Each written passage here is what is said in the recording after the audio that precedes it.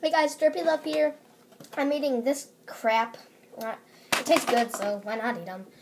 Um, but I'm looking at my public post. Who should I rant and rave about? Uh, Clockwork or Nina the Killer?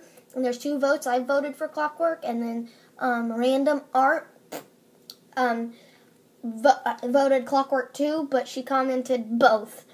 So.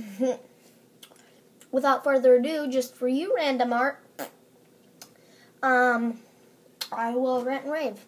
First, I'm going to do Clockwork because she has 100%. She has two votes on her. So, okay. Clockwork. She is a terrible creepy pasta. Not only do people ship her and Clockwork, um, ship Clockwork and Toby together way too much, her story doesn't even make sense. Like, why? Just why?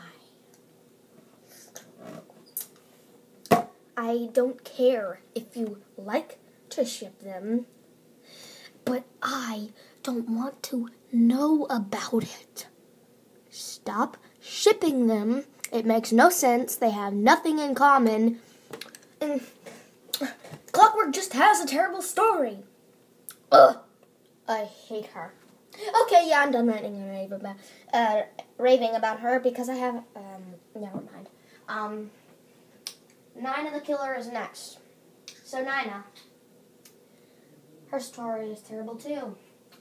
It's a legit female version of Jeff the Killer. And she even says, what was it again? Was it Good Night, My Sweet Prince? No, wait, was it Go to Sleep, My Sweet Prince or something like that? I can't remember. But oh my god! It's so copyrighted, so copyright. Oh my god, it's the exact same thing as Jeff the Killer. Oh, they go to sleep, my sweet prince. My sweet prince was just added into this sentence. Oh my god. Freaking copier. It's a terrible story. But I like the way she looks. But it's a terrible freaking story. It's terrible, Terry. Okay, I'm done ranting and raving because I don't care. Uh, sometimes I just don't care. Uh.